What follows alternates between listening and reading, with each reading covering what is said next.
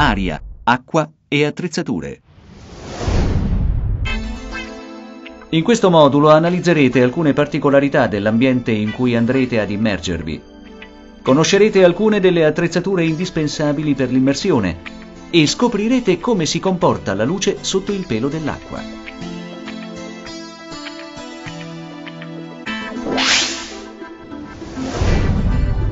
Aria e acqua. Il mondo in cui viviamo è una realtà fisica e tangibile. Tutto quello che vediamo e tocchiamo ha una consistenza reale, è cioè formato da elementi che possono essere caratterizzati da una massa, un volume e una forma. I componenti base di un elemento sono delle particelle elementari chiamate molecole. Gli elementi formano tutto ciò che ci circonda. A seconda delle loro proprietà possono essere solidi, liquidi o gassosi. I solidi, come ad esempio un sasso, sono caratterizzati da una massa, una forma e un volume ben definiti. I liquidi, pur avendo una massa e un volume, non hanno una forma propria. Assumono ogni volta quella del loro contenitore, come ad esempio l'acqua in una bottiglia. I gas addirittura hanno solo la massa, cioè non possiedono né una forma né un volume proprio, ma assumono quelli del loro contenitore. Analizziamo alcune differenze fra liquidi e gas. Prendiamo due contenitori e introduciamo in uno dell'acqua, nell'altro aria. Adesso con uno stantuffo tentiamo di comprimerli. Scopriamo subito una delle particolari differenze. L'aria è comprimibile, mentre l'acqua praticamente non lo è. Entrambi sono formati da molecole, ma nell'aria queste molecole sono in numero inferiore e molto più distanti fra loro, quindi possono essere avvicinate facilmente. La differenza fra molecole e loro numero dà luogo ad una proprietà definita densità. In particolare l'acqua è circa 800 volte più densa dell'aria.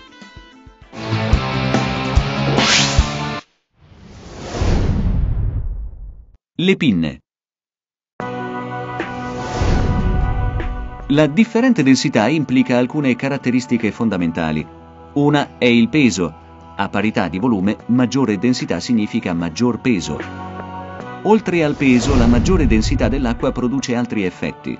Immaginate di correre su un prato, poi di addentrarvi in acqua. Più l'acqua diventa alta, più l'avanzamento è faticoso, fino ad arrivare al punto in cui per spostarvi siete costretti a nuotare. Cosa è successo? Per correre nell'aria dovete vincere la resistenza che questo gas oppone all'avanzamento. In pratica dovete infilarvi fra le molecole d'aria che incontrate. In acqua il numero di molecole da spostare è decisamente maggiore. Questo significa che a parità di spostamento lo sforzo necessario è molto più grande in acqua che in aria. Ad un certo punto il sistema più efficace per spostarvi diventa il nuoto, cioè scivolare fra le molecole di acqua presentando un profilo di penetrazione fra le molecole ridotto rispetto alla posizione eretta. Per secoli gli uomini hanno visitato il mondo acquatico camminando sul fondo come facevano i palombari. Solo poche decine di anni fa è nata un'invenzione fondamentale per la nostra attività, le pinne.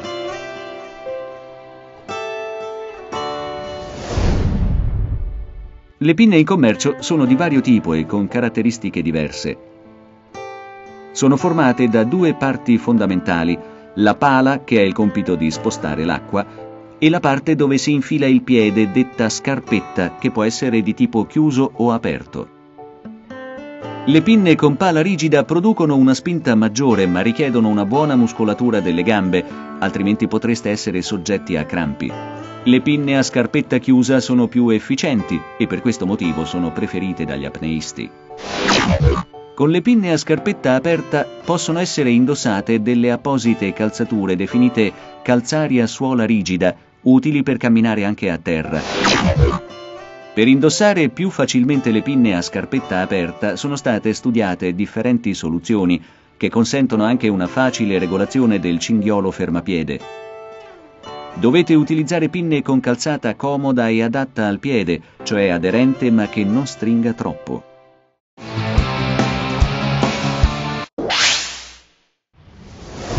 La luce in acqua.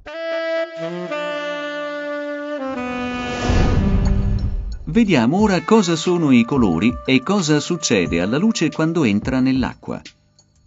La Terra è illuminata da una sorgente luminosa lontana, il Sole. La luce solare che noi vediamo come luce bianca in realtà è composta dalla sovrapposizione di luci di diversi colori.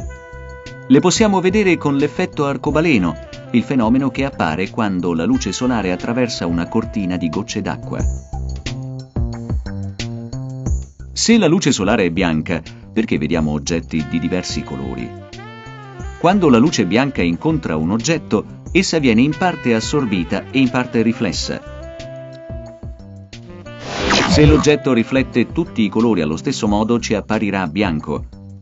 Se l'oggetto invece assorbe la luce di tutti i colori e riflette solo quella di un tipo, ci apparirà proprio del colore che non viene assorbito. Sott'acqua scoprirete che l'illuminazione naturale è diversa rispetto alla superficie, c'è meno luce e i colori degli oggetti cambiano. Tutto tende ad assumere una tinta verde-blu. Vediamo cosa succede. Se il sole è a picco sull'acqua, come a mezzogiorno, molta luce penetra sotto il pelo dell'acqua, mentre in altri momenti della giornata la luce rimbalza in parte sulla superficie con un effetto che si chiama riflessione. Questo fenomeno è facilmente verificabile all'alba e al tramonto. Una parte di luce penetra comunque sotto il pelo dell'acqua, ma la sua angolazione cambia il fenomeno è noto con il termine rifrazione.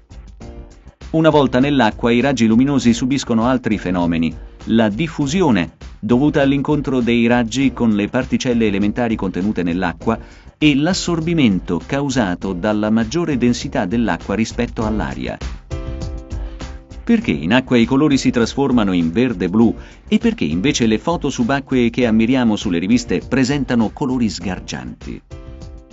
Il fenomeno di assorbimento non è uguale per tutti i colori che compongono lo spettro luminoso. Quelli più caldi, come il rosso, l'arancio, il giallo, sono assorbiti più rapidamente.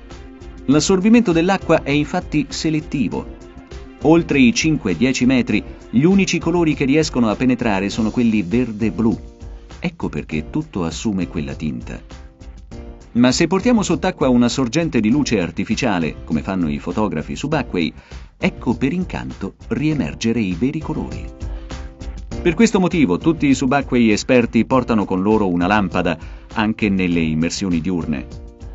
Ovviamente si tratta di una lampada appositamente costruita per funzionare sott'acqua. In questo modo potrete ammirare spettacoli cromatici che solo l'ambiente subacqueo vi può regalare.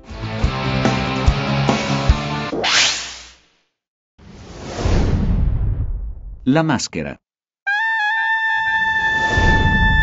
Bene, ora sapete come ci si può spostare meglio in acqua, ma se tentate di guardare sotto la superficie vedrete un mondo sfocato, nonostante tutti i vostri sforzi. Questo accade perché il nostro occhio è conformato per funzionare correttamente in aria e non in acqua. I recordman di apnea correggono questa situazione mettendo delle lenti a contatto appositamente studiate e realizzate ma la cosa, oltre che molto costosa, è innanzitutto scomoda. Il sistema più semplice per vedere chiaramente è quello di riportare l'occhio alle condizioni per cui è conformato, interponendo cioè un cuscinetto d'aria fra occhio e acqua. Per questo motivo è nata la maschera. L'occhio, tornato così in aria, ripristina la sua normale funzionalità visiva. Una maschera è formata in genere da uno o più vetri, un telaio rigido e un facciale morbido. Tutti questi elementi devono essere ben combinati per raggiungere il compromesso ottimale fra un ampio campo visivo e un ridotto volume di aria interno. Una maschera con un volume interno ridotto si compensa più facilmente, ma una maschera troppo piccola potrebbe limitare molto il campo visivo. Per noi subacquei è essenziale che nella maschera sia incluso il naso perché dobbiamo compensarne, come impareremo in seguito, il cuscinetto di aria contenuto. Le maschere più vecchie non sono adatte al nostro scopo perché con esse non è possibile chiudere il naso dall'esterno per compensare. Il vetro della maschera deve essere del tipo temprato, che si rompe senza produrre larghe schegge pericolose per gli occhi. Prima di acquistare una maschera è importante provarne più di una per scegliere il modello più idoneo alla vostra conformazione facciale. Facendovi aiutare, appoggiate la maschera sul viso e verificate che si adatti perfettamente ai vostri lineamenti. Adesso inspirate con il naso in modo da produrre un leggero effetto ventosa. La maschera deve restare in posizione e non cadere. Solo alla fine posizionate il cinghiolo di sicurezza. Per essere efficace il cinghiolo deve essere sdoppiato sulla nuca in modo da avere un'ottima aderenza al capo. È importante verificare che sia possibile regolare facilmente il cinghiolo. Affinché la regolazione sia realmente efficace, dovete riuscire a stringere o allentare il cinghiolo utilizzando una sola mano. Sott'acqua avrete modo di verificare uno strano fenomeno. Tutto vi sembrerà più grande e più vicino della realtà. Scopriamo questo divertente concetto di dimensioni reali e apparenti. Come ricordate, i raggi luminosi passando dall'aria all'acqua subiscono una deviazione, rifrazione. Lo stesso fenomeno avviene col percorso inverso. Il nostro cervello è abituato a interpretare le sensazioni visive in aria, per cui legge la direzione dei raggi luminosi come se avessero viaggiato solo in aria, cioè in linea retta. Di conseguenza crediamo che l'oggetto sia più grande e vicino. Ecco spiegata la differenza tra dimensioni reali e apparenti. Se il vetro della maschera si appanna, avete perso la chiarezza della visione. Per prevenire questa eventualità dovete sfregare saltuariamente il lato interno e quello esterno del vetro con dentifricio, pasta a lavamani o detersivi appositi. Inoltre, prima di ogni immersione è bene espandere sul lato interno del vetro dei tensioattivi come quelli presenti nel sapone liquido o nello shampoo, nei liquidi appositi o più semplicemente negli enzimi della saliva. È importante infine lasciare dell'acqua nella maschera fino al momento di indossarla.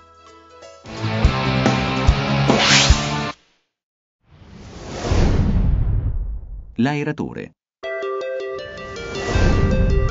un altro prezioso componente dell'equipaggiamento del subacqueo è l'aeratore, che in superficie permette di respirare anche quando si guarda il fondo. In pratica è formato da un tubo e da un boccaglio di diverse forme e misure. Può presentare un elemento molto flessibile per adattarsi meglio a tutte le conformazioni del viso senza affaticare i muscoli delle mascelle. Talvolta questo elemento flessibile è realizzato con un tubo corrugato, in questo caso verificate che l'interno sia comunque liscio al fine di evitare il ristagno di acqua. Un apposito dispositivo deve consentire il fissaggio al cinghiolo della maschera. Per svuotare l'aeratore una volta emersi, basta soffiare con decisione e l'aria spingerà l'acqua all'esterno del tubo. Esistono anche modelli con valvola di scarico unidirezionale, questo dispositivo riduce lo sforzo per svuotare l'aeratore dall'acqua, in quanto non si deve più sollevare tutta la colonna d'acqua sovrastante. Gli aeratori vanno fissati sul lato sinistro della maschera perché dalla parte destra arriverà l'erogatore. Controllate che la posizione consenta un comodo utilizzo senza affaticamento delle mascelle. I buoni aeratori hanno tubi di diametro e lunghezza adeguati e curve limitate di ampio raggio. Il diametro del tubo dovrebbe essere vicino ai 2 cm. Un valore molto inferiore renderebbe più difficile la respirazione, uno molto superiore complicherebbe l'operazione di svuotamento. La punta emersa dell'aeratore è in genere di un colore ben visibile per venire facilmente individuati sul pelo dell'acqua. Le attrezzature devono essere risciacquate con acqua dolce dopo ogni immersione, anche se svolte in piscina, e fatte asciugare all'ombra in luogo ventilato. Grazie a queste semplici attrezzature siete già in grado di iniziare il vostro viaggio nel meraviglioso mondo subacqueo.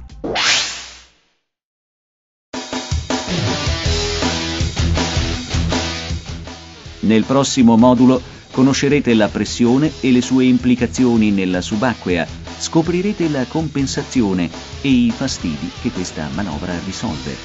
A presto!